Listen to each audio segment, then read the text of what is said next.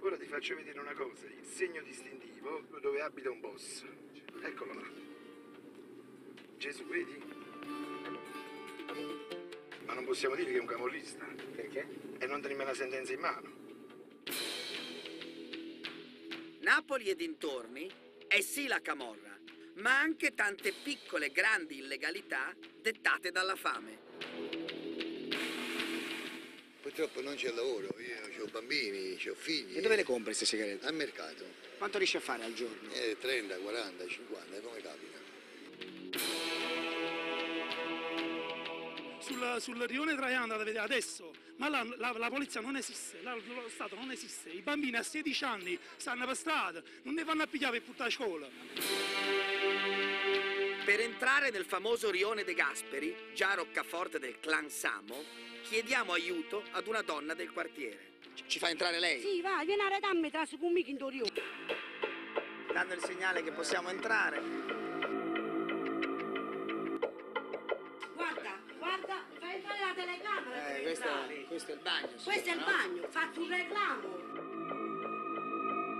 Paghiamo regolarmente l'affitto, tutte le spese, Quanto paga di affitto? 60 euro ogni mese. Abbiamo fatto 5 reclami. Ma perché dicono che qui è pericoloso entrarci? La polizia e i carabinieri non vengono mai.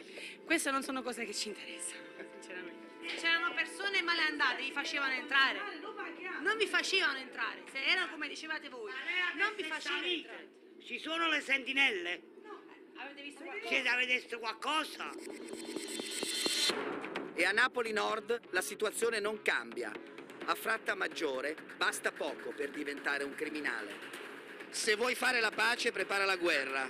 E tu sei in guerra? Io sempre in guerra, Contro chi? di tutti. Tu sei ai domiciliari qua. Sì, i domiciliari. E per che cosa? Per rapina. Hai fatto una- rapina. No, due. Ma tu non hai mai pensato di lavorare?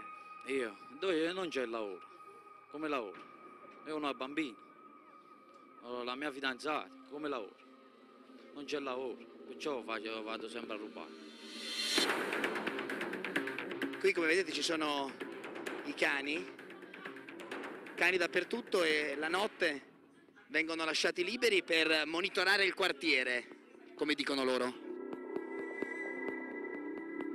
In questo quartiere popolare può sembrare quasi ironico questo cartello che ci ricorda che alcuni lavori di ristrutturazione sono stati fatti grazie ai soldi dell'Unione Europea. Quando morirò andrò in paradiso perché l'inferno lo sto già vivendo. Giovanna ha 36 anni, vive da sola con la mamma cieca e un figlio malato di tumore al cervello. Il suo marito dov'è? Mio marito è in carcere, Da quanti anni? è un anno e nove. E quando uscirà? E fra ha avuto sei anni e due per CD, CD farsi venduto. No, perché chissà che. Speriamo bene che il giudice magari me lo fa. Venire a casa, magari con un arresto